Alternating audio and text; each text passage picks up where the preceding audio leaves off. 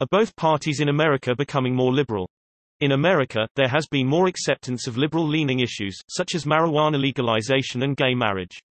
Though Democrats have been found to be more accepting of these issues, the surveys have found Republicans and independents as well becoming more accepting of socially liberal issues, including those too.